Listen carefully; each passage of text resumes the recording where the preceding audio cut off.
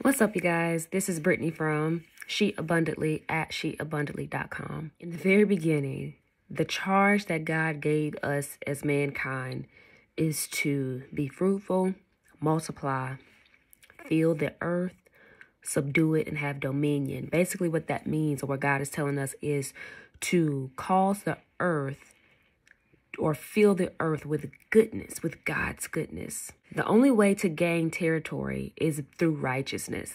Literally following God's word, following God's law, staying within those boundaries. It's not by lying, stealing, cheating. It's not by killing. It's not by sinning. It's, it's not by any of those means, but it is strictly by righteousness. The only way to gain territory, to fill the earth, subdue it, have dominion, um, uh, yeah, have dominion, all that good stuff in Genesis, is through righteousness.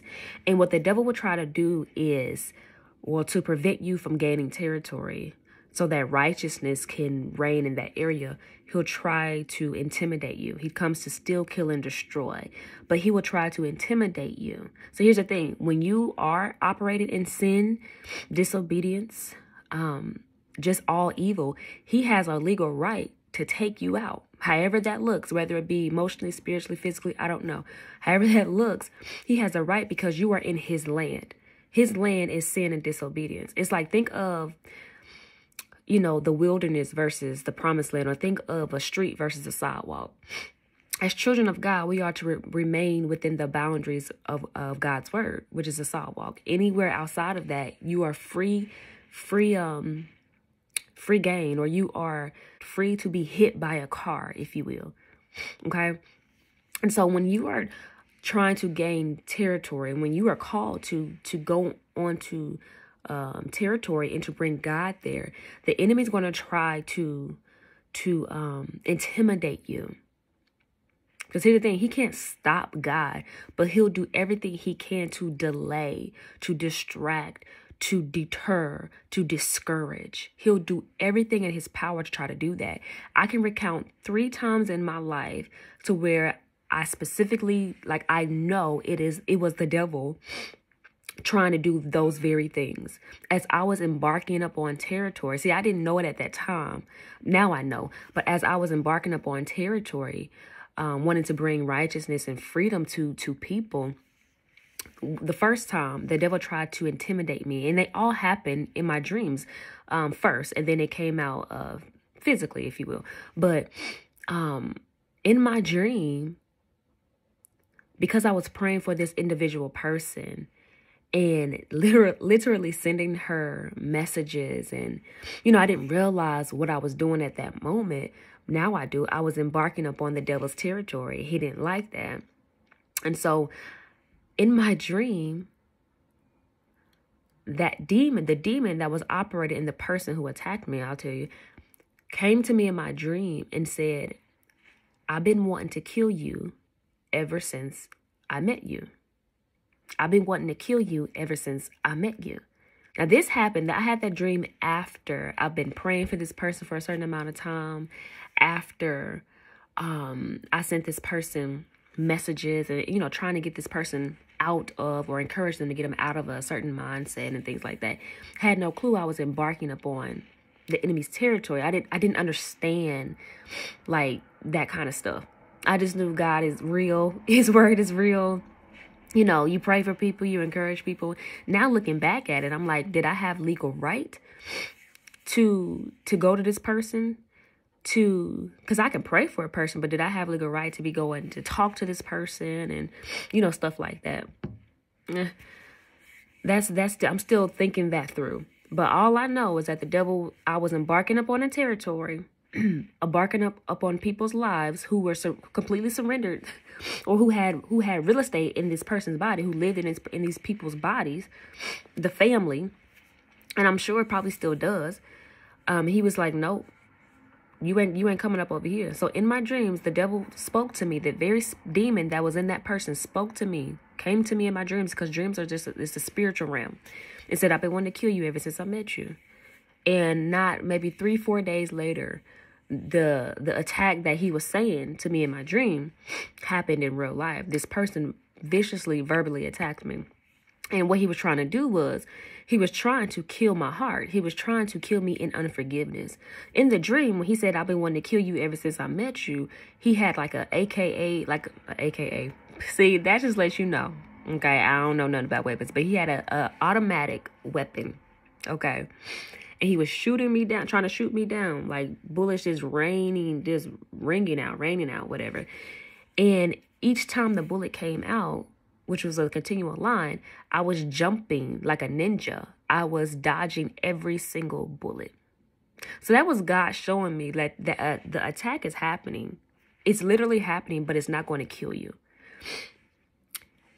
After that dream, the enemy tried to do just that. He tried to kill me inter- in, uh, internally through my heart, through unforgiveness. Because that person, the devil, through that person came to attack me to get me off of that person, to get me off of that family because that was the devil's territory.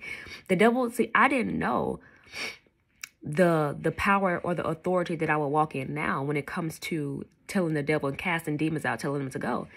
He wanted no part of that. So he tried to kill me before I can come into an awareness of my authority, of my power in Jesus Christ. It delayed me, but it didn't stop me. I was in unforgiveness for a number of years. But I've been since then I've been I've forgiven and I've been healed and I'm still healing from the remnants of those things. I honestly believe I am healed. God has been telling me to stop. Just because you may feel pain doesn't mean that you're not healed in that area. So I'm still learning as I grow. But I just wanted to show you how the enemy tried to intimidate me because I was embarking on ter- upon territory. I was gaining territory and he got scared and he got nervous. Okay, that was number one. Number two, there's was this man at my my uh my old job there for years. Come to find out, so he's he's engaging in in a in inappropriate ways with young women there, women that I work with. Nobody's saying anything. Come to find out, he's been on this one man team having sex with multiple people, multiple women in this job for the past 16 plus years. Okay? Do you feel me? I come up on the scene. He tried to pull, he tried to flirt with me and pull some stuff with me until I realized like what's going on and what what this person is all about. So I decided, I said, yo, ain't nobody doing nothing, ain't nobody saying nothing. And I'm just like, yo, it's it's time out for stupidity like this, especially like men on the jobs harassing these women. I remember gearing up to to file a sexual har- harassment um, report or file a report on this man, and I can't remember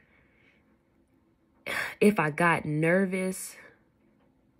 I don't I don't know what happened, but I remember feeling the pressure. I, I remember feeling anxiety like oh my goodness i've never filed a sexual harassment suit or any on anybody. What's going to happen? All these thoughts started popping in my head. What are people going to say about me? What how they going to feel? God was literally strength even though these thoughts were coming god was literally strengthening me in my physical body in my mind to to bust a move. Because here's the thing you you gain territory by righteousness. And sometimes that takes measures like calling a thing a thing and bringing law into it or bringing policy into it. You got to stop evil and it takes the people of god to do that okay? See i had i couldn't i couldn't just stand on what these girls were saying I had evidence myself. Okay. So right before, like right when I began to get nervous, like, oh, I don't know if I should do this. Th- that night in my dreams, that, remind you, dreams are the spiritual world. Like I'm, I've learned dreams are the, the spiritual realm. Um, the demon that was in that man came to me in my dream. Now, in the dream, we were in the workplace, in that setting. The demon looked at me and said, I knew you wouldn't go tell on me. I knew I knew you wouldn't go tell on me. Proceeded to take me. He bound me up and then took me to that actual man's work area. And then took me into a dungeon, like a secret dungeon place that's not even real, I don't think, and proceeded to sexually abuse me in my dream. That next day, I filed that harassment on that dude. Because what the devil tried to do was intimidate me, to stop me from gaining territory, to stop me from trying to stop that demon from doing what he was doing, harassing these young women. That man to this day, I believe, is still at that job. But my file, me filing that, put it on record. So if someone else was to file it, they'll get him up out of there. He, he should have been fired a long time ago. But that's another conversation, you know. The devil tried to intimidate me. Okay. Third, third scenario. This happened recently. I think I had maybe two sessions with this woman, um, doing some inner work and deliverance. Like I was calling spirits up out of her. I think after the second session, the demon in her. Y'all, this is when I tell you the spiritual world is more real than than the than the physical. The demon in her came to me in my dream. This is about I woke up maybe about 5 a.m. or 6 something in that morning. Came to me in my dream.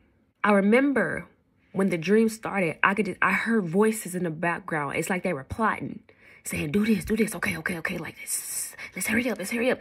I heard voices plotting.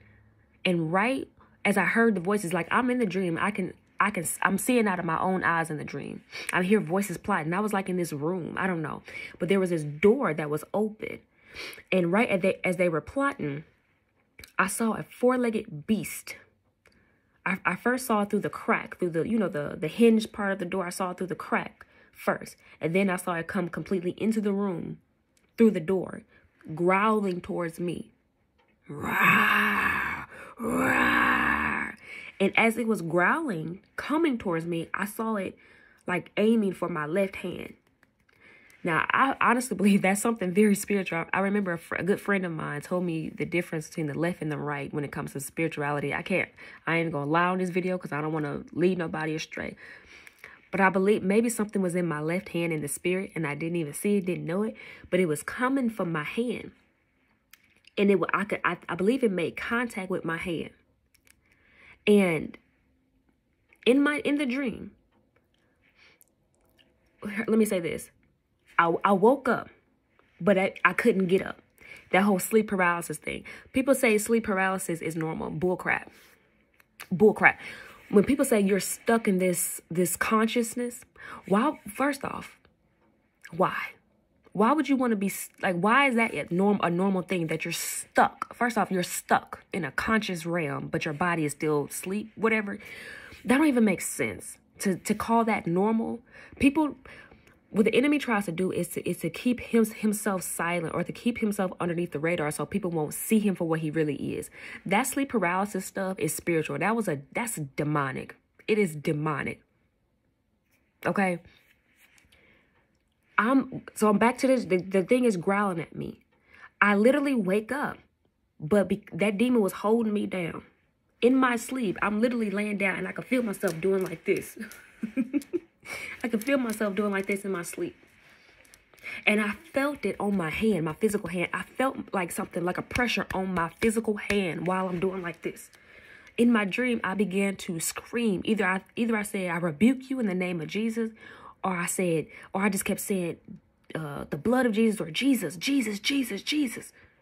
As I was screaming that out of my mouth in the dream, the roaring and the the beast, like it, it got smaller and smaller and smaller and smaller until it disappeared.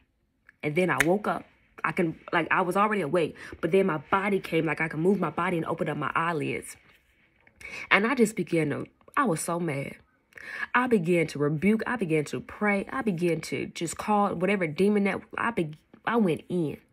And I was like, okay, devil. See, because now I'm more aware of his schemes. Because I was embarking upon his territory. He'd been living in that this woman that I'm talking about probably since she was uh, a baby. Who knows her whole life, over 30, over 35 years. It saw me coming for it and tried to come to me in my in the spiritual realm to intimidate me, to cause me to back up from casting it out of her. The enemy will try to intimidate you when you are embarking upon his territory. Do not fall for his his plots, his plans. Don't allow the enemy to play you and to discourage you. I'm saying I'm saying this because I'm gonna watch this video back and watch it for myself, but I'm saying this to encourage you. I know many other people have had dreams of attacks and didn't even put two and two together that the enemy was trying to intimidate you or trying to, you know, push you back. If God has told you to go forward, if God if, if you are pushing forth righteousness, don't stop.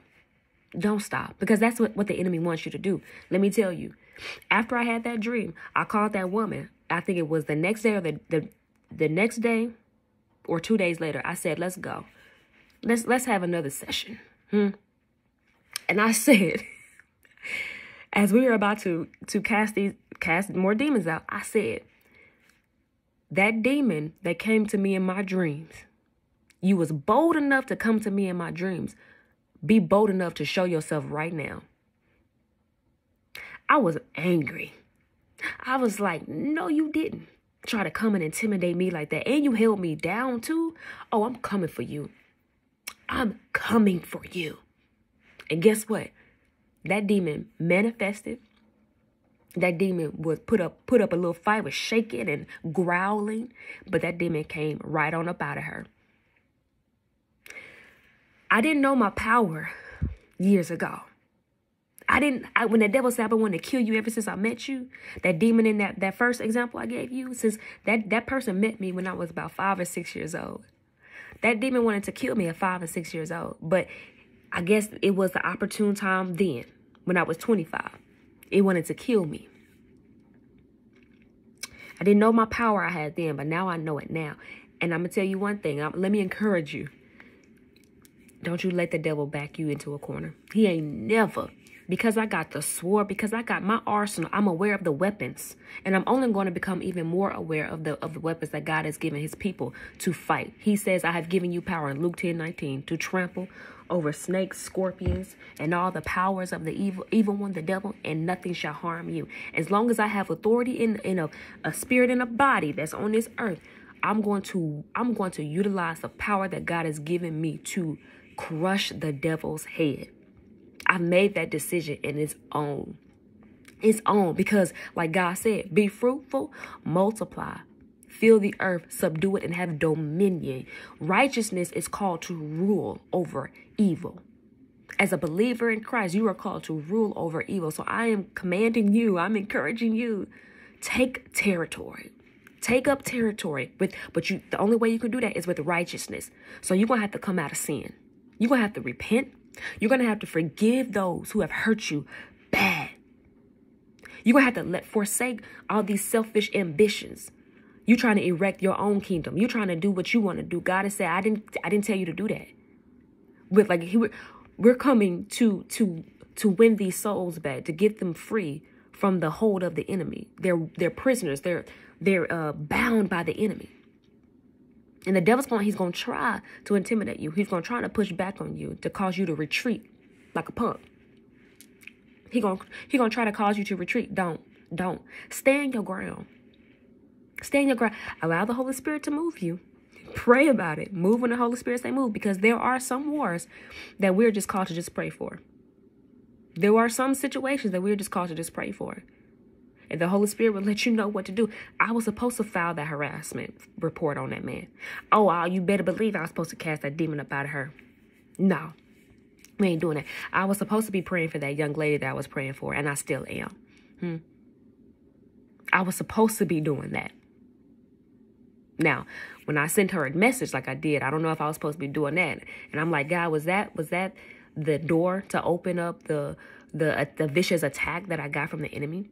Shout out to um, the late John Paul Jackson, who has a book called Needless Casualties of War. Because there are some wars that when we embark upon, we are we are on territory we don't have permission to be on. Or we're going against high-ranking demons in the second heaven, which we're not called to. We are we are called to do war with the demons on earth. That's in our jurisdiction, our territory. So when you're trying to go to the second heaven, you are out of order. God didn't tell you to do, to do that. And so when you do that, you invite war, you invite casualties, death, like real death, and just crazy stuff. So God ain't telling us to do that. Check that book out. Get that book so we can learn how to really um, engage in warfare and how to stand our ground. But be encouraged. Don't let the devil punk you. I just wanted to share those three examples of how he tried to intimidate me and he didn't stop me. I'm still going forward in righteousness, boom. Y'all stay encouraged. Until next time, peace.